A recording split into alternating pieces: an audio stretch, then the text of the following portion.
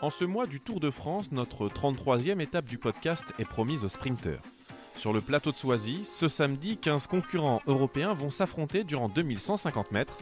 À l'occasion du prix de la Porte Montmartre, enlevé l'an passé par Prosperous qui s'était échappé dans le final. Parmi les chevaux qui seront hors délai, le numéro 1 Éclair Gold sera ma rayure dans ce quintet. Malgré un engagement en or massif, le partenaire de Johan Le Bourgeois aura fort à faire face au leader annoncé. En dépit de sa forme et de son bon numéro, ce fils de Niopette d'Ombré est barré par bon nombre de ses adversaires du peloton. Passons au maillot jaune de ce quintet plus à Anguin, le numéro 6, Fashion Touch, qui est un tube incontournable. Dans la forme de sa vie, cette pensionnaire de Pierre-Louis Dezonnette est une jument polyvalente. De Vincennes à Alençon, de 2000 mètres à 3475 mètres, son coup de pédale est impressionnant. Bien placé derrière l'autostart, c'est la roue à prendre ce samedi et la gagnante annoncée depuis plusieurs jours. Dans le groupe Eto des tocards, le numéro 7, Evita Madrid, peut tirer son épingle du jeu.